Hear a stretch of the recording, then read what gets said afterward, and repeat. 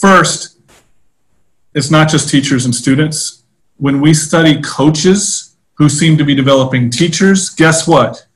Same patterns. And so we've got the coaches' patterns here, and you can see that.